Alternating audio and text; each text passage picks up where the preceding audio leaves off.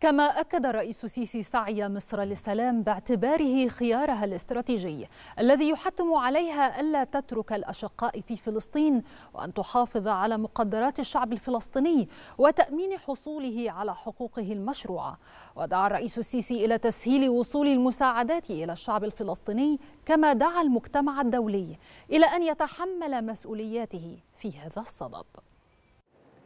فإنني أدعو كافة الأطراف إلى إعلاء لغة العقل والحكمة والالتزام بأقصى درجات ضبط النفس وإخراج المدنيين والأطفال والنساء من دائرة الانتقام الغاشم والعودة فوراً للمسار التفاوضي تجنباً لحرائق تجنباً لحرائق ستشتعل فلن تترك قاسيا أو دانيا إلا وأحرقته.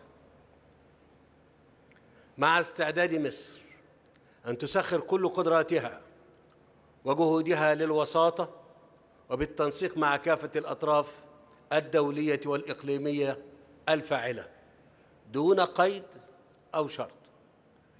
وأؤكد بشكل واضح أن سعي مصر للسلام واعتباره خيارها الاستراتيجي يحتم عليها ألا تترك الأشقاء في فلسطين الغالية.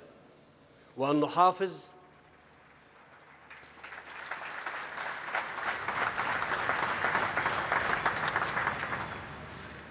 وأؤكد بشكل واضح أن سعي مصر للسلام واعتباره خيارها الاستراتيجي يحتم عليها ألا تترك الأشقاء في فلسطين الغالية وأن نحافظ على مقدرات الشعب الفلسطيني الشقيق وتأمين حصوله على حقوقه الشرعية. فهذا هو موقفنا الثابت والراسخ وليس بقرار نتخذه بل هو عقيدة كامنة في نفوسنا وضمائرنا. آملين بأن تعلو أصوات السلام لتكف صرخات الأطفال وبكاء الأرامل ونحيب الأمهات. ولن يتأتى ذلك إلا بتوفير أقصى حماية للمدنيين من الجانبين فورا.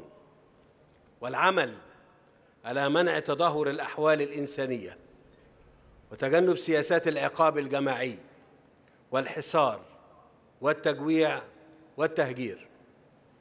وأؤكد ضرورة عدم تحمل الأبرياء تبعات الصراع العسكري وهو ما يستوجب تسهيل وصول المساعدات الإنسانية لأبناء الشعب الفلسطيني بشكل عاجل. ويجب على المجتمع الدولي اليوم أن يتحمل ويجب على المجتمع الدولي اليوم أن يتحمل مسؤولياته في هذا الصدد فمن أجل السلام فليعمل العاملون.